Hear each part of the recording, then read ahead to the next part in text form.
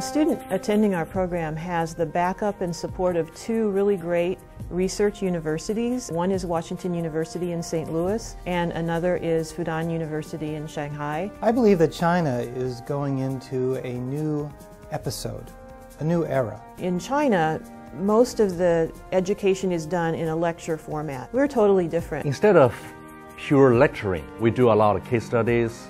Uh, we ask a lot of questions to the professors. So the class is very open and everybody can have chance to discuss. What we target is students who are at a level where they're ready to take off in their careers. I think more than anything, you learn how little that you actually know, and you learn where you need help. When they're not in class, they also have responsibility of doing some homework, some preparation in their teams and partly individually. At the end of the 18 months, they come to the U.S. for a residency. Every time I put pictures of the campus on the blog, I have responses from all my friends and say, you know, you are in heaven. And it's not just a professional way of learning, it's, it's a personal way of learning too. My brother, who's my partner, he also did an EMBA program, so we compare our notes.